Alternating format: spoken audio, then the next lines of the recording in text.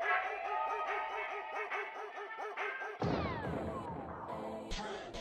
Yo, so what's going on guys, it's your boy Laazr Gaming, welcome back to another GTA 5 video. Now as you guys probably know, for the last few years I've loved to show you guys a bunch of different glitches and tricks, and going off the feedback, there seems to be one specific glitch that you guys seem to always really enjoy, and that's a launch glitch in GTA 5. And I have been reading through the comments recently and noticed a ton of comments from you guys asking me do I know any new launch glitches still working after the latest patches, so I thought go ahead and showcase a brand new launch glitch that I've yet to show on my channel. So as always, if you guys do go on to enjoy the video and you do want to see more fun glitches and tricks like this in the future, do be sure to drop a like down below. Feel free to subscribe for daily GTA 5 videos. Without further ado, let's get into the video. Okay, so the great thing about this glitch is it is 100% solo. It does work on both the PlayStation, Xbox and PC, so I guarantee all of you guys will be able to do this straight away. So the first thing you guys want to do is head to this location on the map. It's in a very popular location. I'm not going to lie, you guys are going to see in this video as I'm recording,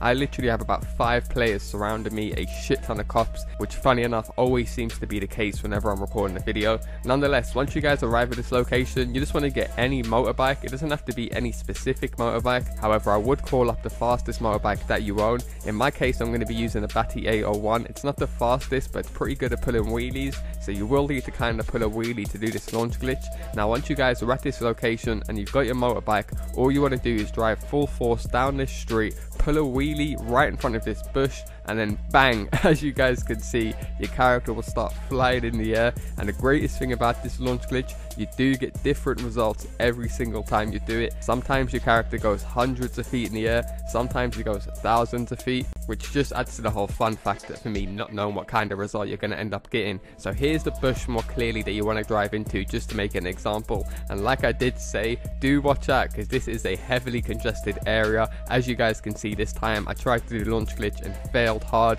drove straight into a cop car. However, the third time I tried it, as you guys are about to see in a sec, I ended up getting a crazy result. Because of the location of the launch glitch, it does have fun potential to bounce off objects and bang, as you guys can see, I ended up whacking off the pole, doing some whirlwind quadruple backflip somersaults. I'm not gonna lie boys, you can get some really fun results doing this with friends, so definitely pull out the Rockstar editor, try and land some insane stunts while doing it. And if you guys do go ahead and use this launch glitch and you record any clips, do be sure to tag me on them if you guys are on Twitter. But as you guys can see in the background right now, I am getting some insane results. And I'm not going to lie, my friend was actually using the Tron bike to do this glitch and he was getting more like slung across the map. Whereas I'm getting more launched upwards in the air. So maybe try out different bikes, you might get more different results. But like I said, just a fun, easy solo launch glitch working on every console. Nonetheless, that's going to do it for me guys. As always, if you guys do want to see me post more fun new glitches and tricks in the future, do be sure to drop a like down below. Feel free to subscribe if you guys are new.